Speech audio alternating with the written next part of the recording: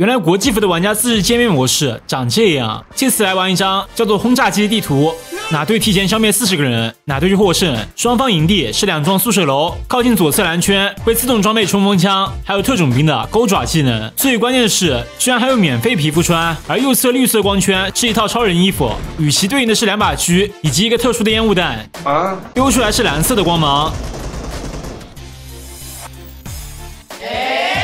随着游戏时间推移，后续还会加入冰墙以及飞高高这两个全新技能。这不就是特种作战满歼灭模式吗？当然，这还没完啊！在底部空投箱处会刷出 C 四，如果贴墙安装，敌人直接团灭。除此之外，在顶部风车上面还会固定刷出 RPG，无限子弹狂轰滥炸，可谓是很难不爱。